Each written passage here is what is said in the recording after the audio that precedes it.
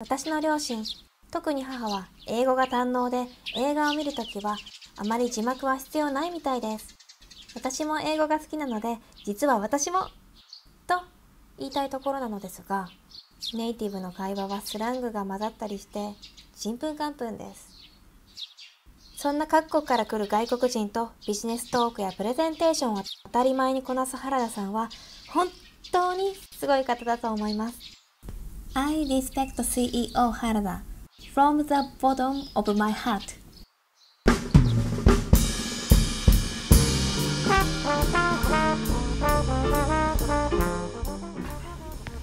はい皆さんこんにちは。今日は社長もですね例えばグローバル企業だと海外のヘッドクォーターに対するプレゼンテーションってやっぱあるわけですよね、まあ、いずれにしても一応社長の目線からどんなプレゼンが嫌われるか。いいですか？上司から嫌われるプレゼンテーション。もう私が大嫌いなプレゼンテーションを経験を踏まえてお話ししますから参考にしてください。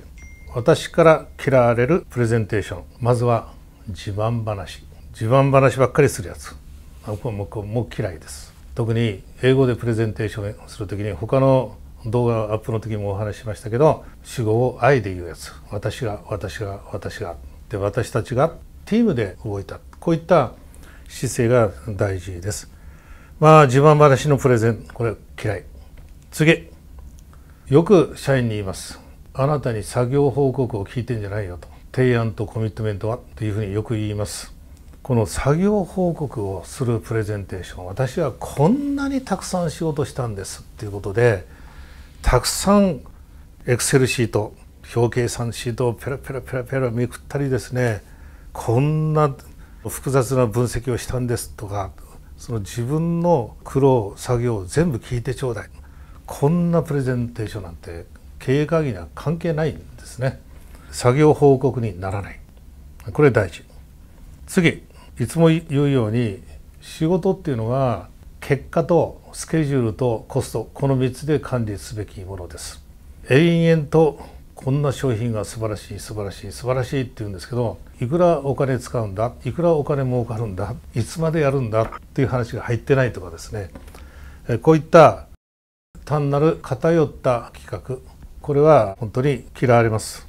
次このスライドの作り方なんですけどエクセルシートをべったりそのまま貼り付けるとかワープロを貼り付けるようなパワーポイント。私はもうパワーポイントあまり使いません。キーノートは大好きなんですけどパワーポイント使った使ってる人多いんですね。もう本当によく見るパターンですけどもうエクセルシートそのまま貼り付けて隅っこ隅っこ一個一個説明する。それで課題を説明する。こういったプレゼン。大嫌い。ワープロを貼り付ける。主語述語 目的が全部入ってる。こんなワープロ貼り付けるプレゼンテーションこれも大嫌いです。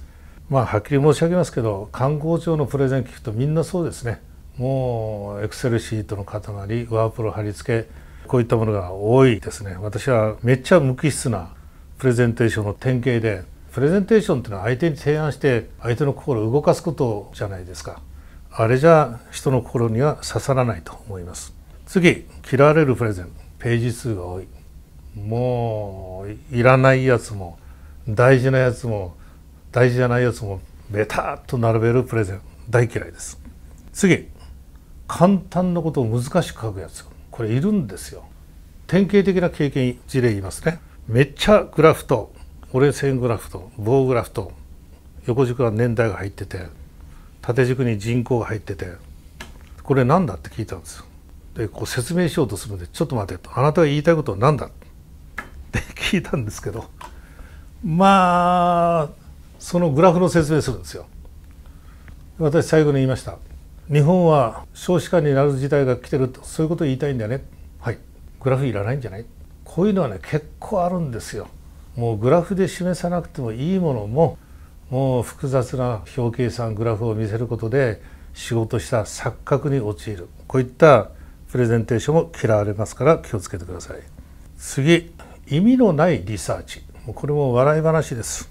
いい加減に賢いやつはですね本当に賢いやつはやらないと思うんですけどいい加減に賢いやつは「ああ私頭いいんだ」ということを伝えたいためなのかどうか知りませんが必ず何かリサーチしてリサーチデータを貼り付けたりします。あるプレゼンはいろんなコンシューマーインサイトのリサーチをしました。消費者が商品イメージどういうふうに思ってますか。マクドナルドは美味しさイメージ健康イメージでは他のハンバーガーレストランに負けてます。マクドナルドの商品イメージは体に良くないというイメージが消費者のイメージです。っていうのをリサーチかけてやるやつがいるんですよ。私言いました。そんなのリサーチしなくたって分かってんじゃないの？こういったですね分かりきったことをリサーチする。リサーチしてそのプレゼンテーションの説得力が上がるみたいな錯覚に陥る。そういった人が結構多いですね。次何でもですねグラフにしたり何でも XYZ の3次元の表現にしたり意味がないのに縦横の線を入れたりそういったもう英語でコスメティックデザインっていうんですけど綺麗に見せようという目的なのか知りませんが意味のない縦横の線が入ってたりこんなプレゼンも私は大嫌いです。もう本当にシンプルでやっぱり一つのページで一つのメッセージ。これが一番分かりやすい。したがってプレゼンテーションのスライドを作る時はスライドを作って説明するんじゃなくてグラフを作って説明するんじゃなくて何を言いたいかを決めてそれを説明なくても説明しなくても相手に通じる。こういった表現を次に考える。これが正しいプレゼンテーションのスライドの作り方です。私はよく極端な言い方します。言いたいことを決めろ。それを端的に直感的に分かるグラフを作れ。グラフがなかったら嘘でもいいから作れということをよく言います。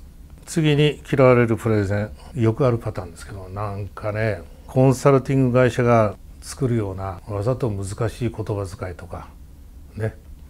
スワット分析だ CS 分析だとこうわけのわかんない言葉使えば知識豊富みたいな感じがしてるのかな。意味のないコンサル風のプレゼン用語。こういったものも嫌いです。ビジネスアキメンと言いましてビジネスに対する感性を持っているかどうかこういった表現力が非常に大事だと思います。もっとひどいのは何を言いたいのか最後まで聞いても分かんない。こういうプレゼン笑い話のようですがよくあるんです。黙って聞いてると何を言いたいのかよく分かんない。というのがあります。自ら論点整理が全くできてなくて迷路に入ったようなプレゼン。これもあります。それからもっとひどいのはですねこのよく中途入社の初期段階でありがちなんですけど中途で入ってきますね。プレゼンする時にこの会社は言うやつがいるんですよ。我が社はって言わなきゃいけないんです初日から。これがですねひどいやつはずっと第三者的な立場で目線でプレゼンするってやつが結構います。過去はダメだった過去はダメだった過去はダメだったじゃないんですよ。今直面している課題私が抱えている課題機械点こういった自分がオーナーシップを持ってしゃべる。これは非常に大事なプレゼンテーションの立ち位置です。最初から最後まで評論家で終わる。こんなプレゼンテーションも嫌われます。いいプレゼンテーションっていうのはどんなに長いストーリーでももう最初の1ページでエグゼクティブサマリー。これが表現できるかどうかがプレゼンの質を質の象徴だと思います。1ページのエグゼクティブサマリー。2番目に説明なしで理解できるスライドのストーリー作り。それから本人のコミットメント約束。このもう一回言います。エグゼクティブサマリー説明なしで分かるストーリー作りコミットメント。この3つがあると素晴らしいです。ダメな事例はたくさん言いましたけど、えー、素晴らしいのはこの3つだと思います。参考にしてください。ためになったと思いましたらチャンネル登録よろしくお願いします。